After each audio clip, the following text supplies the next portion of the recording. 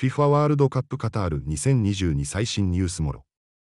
古史上初のベスト4へ導いたゴール現地時間中。FIFA ワールドカップカタール2022準々決勝のもろ。代表対ポルトガル代表がアルトゥマーマ。スタジアムで行われた、この試合では、もろ。代表フォワードユセフ・エンネシリが圧巻のゴールを。メタ。カタール W 杯を追っかけ再生広告なし。見られる。14日間で永遠のアベマプレミアムの登録はこち。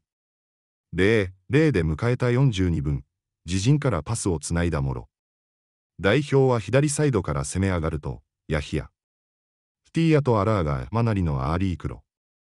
を入れる、すると、このクロスにエンネシリが。大相手ディフェンダーの背後から走り込み、飛び出してきたゴールキーパー。上からヘディングシュートを叩き込んだ。コ代表はこのゴールで先制、その後はポル。ガル代表の猛攻をしのぎきり、モロッコ史上初。ベスト4進出を決めた。